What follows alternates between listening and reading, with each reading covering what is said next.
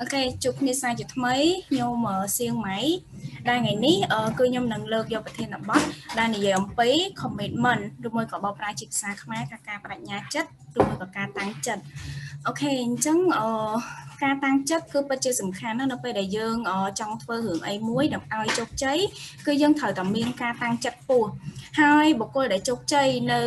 លើពិភពលោកយើងហ្នឹងគឺពួកគាត់សុទ្ធតែជាបុគ្គលដែលមានការតាំងចិត្តខ្ពស់នឹងឯងបើសិនជាយើងអត់មានការតាំងចិត្តទេហើយយើងគ្រាន់តែគិតហើយយើងកេងគឺលទ្ធផលគឺតាមនឹងឯងអូខេអញ្ចឹងអឺខ្ញុំធ្លាប់លើគ្នាយើងតែងតែនិយាយថា អឺការមាន commitment ណាគឺបានតែធម្មរយៈពេលខ្លីទេពេលខ្លះយើងចង់ធ្វើរឿងអីមួយ គឺយើងអត់បានធ្វើជាលក្ខណៈ long term គឺយើងចង់តែដំបូងណាអញ្ចឹងចង់ដឹងថាតើយើងត្រូវធ្វើដូចដេចដើម្បីធ្វើឲ្យយើងមាន commitment នៅក្នុងរយៈពេលយូរអូខេចឹងសម្រាប់ចំណុចទី1គឺ purpose អញ្ចឹងយើងត្រូវដឹងអំពី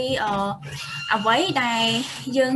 ចូលចិត្ត អ្វីដែលយើងចង់បានហើយតើអ្វីដែលជាគោលបំណងពិតប្រាកដរបស់យើងនឹងដូចជាការកំណត់គោលដៅអញ្ចឹងបើសិនជាយើងអត់ដឹងថា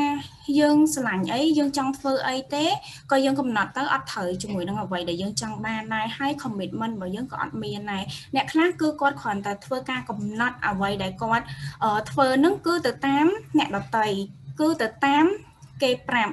ឬមួយក៏កំណត់គោលដៅទៅតាមភាពជោគជ័យរបស់គេគាត់ឃើញគេធ្វើទៅជោគជ័យ គឺគាត់កំណត់ធ្វើដូចគេដែរប៉ុន្តែជាក់ស្ដែងនៅពេលដែលគាត់ធ្វើគឺអត់ទៅរួចដូចគេដោយសារអីគេធ្វើជោគជ័យដោយសារតែគេស្រឡាញ់គេចូលចិត្តប៉ុន្តែយើងគ្រាន់តែធ្វើទៅតាមគេប៉ុន្តែជាក់ស្ដែងគឺយើងអត់មានដង់នៅក្នុងខ្លួនរបស់យើងហ្មងហើយអញ្ចឹងហើយគឺ purpose នេះគឺពិតជាសំខាន់ណាស់យើងត្រូវដឹងអំពីគោលបំណងយើងត្រូវដឹងអំពីអ្វីដែលយើងចង់សម្រេចបានទៅធ្វើឲ្យ commitment ហ្នឹងគឺកើតឡើងហ្មងអូខេអញ្ចឹងយើងត្រូវដឹងថា why you do what you do ហើយសម្រាប់ចំណុចទី2អ្វីដែលជា keystone នៃ commitment ហ្នឹងគឺយើងត្រូវតែមាន action បើសិនជាយើងគ្រាន់តែចង់បានហើយយើងគ្រាន់តែគិតយើងអត់បានបញ្ចេញសកម្មភាពទេ គឺគ្រាន់តែជាការសម័យមួយឯងដែលអត់អាចចេញជាលទ្ធផលមកពិតទេគ្រាន់តែយើងកេងហើយយើង trim យ៉ាអញ្ចឹងការ take action គឺពិតជាសំខាន់ណាមិនថារឿងអីក៏ដោយបើយើងគ្រាន់តែគិតហើយយើងអត់បានធ្វើវាទេ គឺវាគ្រាន់តែជាការសម័យចាំពាក្យហ្នឹងអូខេអញ្ចឹងសម្រាប់ចំណុចទី3នេះ គឺជារូបមន្តដែលធ្វើឲ្យ commitment ហ្នឹងគឺស្ថិតនៅក្នុងរយៈពេល long term មានន័យថាយើងមិនមែនចង់តែមួយឆាវយើងមិនមែនចង់តែដំបូងទេអញ្ចឹងគឺ commitment បូកជាមួយនឹង consistency ស្មើជាមួយនឹង result អញ្ចឹងនៅពេលដែលយើងមានការតាំងចិត្តថាយើងចង់ធ្វើអ្វីមួយហើយគឺយើងត្រូវតែមានជាមួយនឹងការធ្វើវាជាប្រចាំ ដូចជាការធ្វើ daily task ចឹងអញ្ចឹងការងារគឺយើងត្រូវធ្វើយើងត្រូវមានជាមួយនឹង daily report យើងត្រូវមានជាមួយនឹង weekly report ហើយក៏ដូចជា monthly report goal របស់យើងគឺដូចគ្នាដែរយើងត្រូវតែមានជាមួយនឹងការ set goal រយៈពេល5ឆ្នាំរយៈពេល10ឆ្នាំ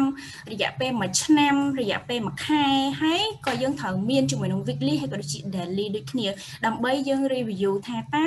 អ្វីដែលយើងកំណត់ហ្នឹងយើង complete បានប៉ុណ្ណាហើយយើងត្រូវតាមដានជាប្រចាំអញ្ចឹងនៅពេលដែលយើង keep it consistency ហើយ result របស់យើងគឺនឹងមានទៅតាមនឹងឯងហើយដូចខ្ញុំ share ខ្ញុំចង់ share story មួយតាក់ទងមួយនឹងខ្លួនខ្ញុំផ្ទាល់តាក់ទងជាមួយនឹង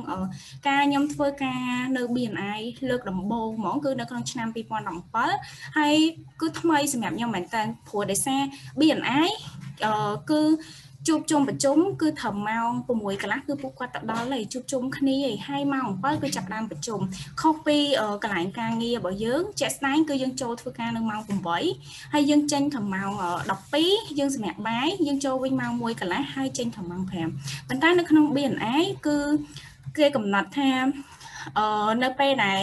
ការជួបជុំគ្នាពេលព្រលឹមហ្នឹងគឺពួកគាត់ទៅជួបជាមួយនឹងអតិថិជនដោយសារអី អំឡុងពេលម៉ោង6កន្លះម្ចាស់អាជីវកម្មផ្សេងផ្សេងគឺគាត់នៅគេងនៅឡើយឯងគឺអត់តាន់មានអ្នកណាដែលគាត់ត្រូវទៅជួបភ្ញៀវឯងប៉ុន្តែនៅក្នុងស្ថាប័ន BNI អត់ទេគឺពួកគាត់ commit មែនតើគឺ commit ទៅពីព្រលឹមហ្មងហើយដូចថាគេកំណត់ថាម៉ោង6កន្លះអញ្ចឹងណាប៉ុន្តែជាក់ស្ដែងគឺពួកគាត់ត្រឹមម៉ោង5កន្លះអីគឺពួកគាត់ទៅដល់ហើយគឺវាថាអ្នកណាទៅដល់មុនគឺជួបជាមួយនឹងអតិថិជនមុនអញ្ចឹងអញ្ចឹងនៅក្នុងនាមខ្ញុំជាអ្នកសម្របសម្រួលជាអ្នករៀបចំគឺខ្ញុំត្រូវទៅទៅដល់ឲ្យមុនពួកគាត់អញ្ចឹង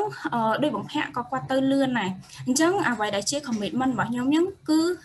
វាគឺជាតួនាទីទី1ណាវាគឺជាតួនាទីដែលយើងត្រូវទៅទៅដល់មុនយើងត្រូវរៀបចំយើងត្រូវបើកភ្លើងយើងត្រូវមើលថាតើកន្លែងហ្នឹងគឺរៀបរយហើយនៅ មានទឹកក្តៅទឹកត្រជាក់នៅហើយមាន flip chart មានអីហើយនៅ ready ហើយនៅស្អាតនៅអញ្ចឹងយើងត្រូវទៅទៅដល់មុនពួកគាត់ដើម្បីយើង check ហើយអ្វីដែលជា commitment ទី2ហ្នឹងគឺខ្ញុំតាំងចិត្តថាខ្ញុំត្រូវទៅទៅដល់មុនមេ ព្រោះមេតាម៉ោង6កន្លះអីគឺគាត់ទៅដល់ហើយអញ្ចឹងខ្ញុំទៅដល់ម៉ោង5កន្លះក៏ខ្ញុំមានធម្មអានីណាកាលមុនកាល2017គឺយើងប្រជុំនៅធម្មអានីណាអញ្ចឹងណាអញ្ចឹងខ្ញុំត្រូវទៅទៅដល់មុនគាត់អាចថាម៉ោង6ពេលខ្លះម៉ោង5កន្លះទៀតទៅដល់ឡើងល្ងិតហ្មងអត់តន់មានសិនសុខអត់តន់មានអីទៀតពេលខ្លះហើយទៅដល់គឺត្រូវទៅបើកភ្លើងមុនគេហ្មងប៉ុន្តែគាត់ថាអឺទៅដល់ហ្នឹងពេលខ្លះមិនមែនមានតែខ្ញុំទៀតពួកគាត់ហ្នឹងទៅដល់ស្ទើរថាមុនខ្ញុំទៀត នេះគឺជា commitment មួយដែលយើងដូចថាយើងត្រូវយើងចង់បំពេញជាមួយនឹងទូនីតិនឹងឲ្យបានល្អព្រោះដោយសារវាតកតងជាមួយនឹង performance របស់យើងដែរហើយគឺខ្ញុំកំណត់ថាខ្ញុំត្រូវទៅទៅដល់មុនមេហ្មងអញ្ចឹងហ្នឹងគឺជាកម្លាំងជំរុញមួយដែលធ្វើឲ្យយើងហ្នឹងគឺភ្ញាក់ពីព្រលឹមឡើងដោយមានអារម្មណ៍ស្រស់ស្រាយហើយយើងទៅធ្វើការបានរលូនហ្មងអូខេអញ្ចឹងសម្រាប់ប្រធានបទរបស់ខ្ញុំគឺចប់ត្រឹមតែប៉ុណ្្នឹងហើយអរគុណ